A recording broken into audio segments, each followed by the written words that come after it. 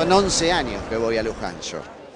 Eh, esta es la quinta, el quinto año con mi hijo, que está en quinto año, y fuimos, bueno, obviamente, desde primer año lo llevé, segundo, tercero, cuarto, quinto, pero yo ya había ido seis veces más antes. ¿Qué es lo que te motivó por primera vez peregrinar a Luján? Eh, la fe, la promesa, el agradecimiento, el haber hecho un pedido y que se haya cumplido.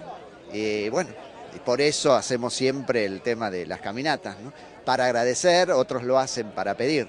Agradecer por el país maravilloso que tenemos y para pedir eh, para que sigan las cosas como están y nunca menos, siempre para más.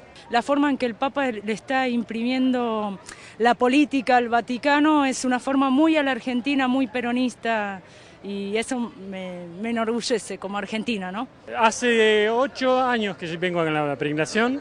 Este, bueno, la verdad que es una experiencia bárbara, aunque es dolorosa, hasta el final, pero es una experiencia hermosísima. Creo que con el Papa este, ha, cambiado un poco la, la, mente del mundo, digamos así, ¿no? Parece que realmente es como la onda para arriba, todo, todo paz y amor. Es la primera vez que voy a salir desde Liniers. Las veces anteriores no me animaba tanto, entonces, bueno, mm, probé el primer tramo desde General Rodríguez hasta Luján, vi que era bastante posible hacer.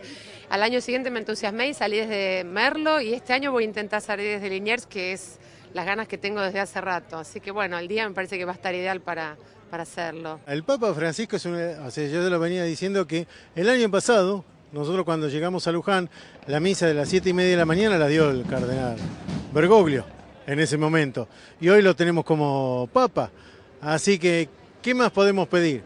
Realmente, yo como transerrano, como brocheriano, tener a Beato, al cura brochero, como dijo el Papa Francisco, es un pastor que tiene olor a oveja, ¿no? Entonces, orgulloso del Papa Francisco, del Papa que tenemos para el mundo, que realmente está dando muestra de lo que eh, humildemente puede hacer alguien tan importante como él.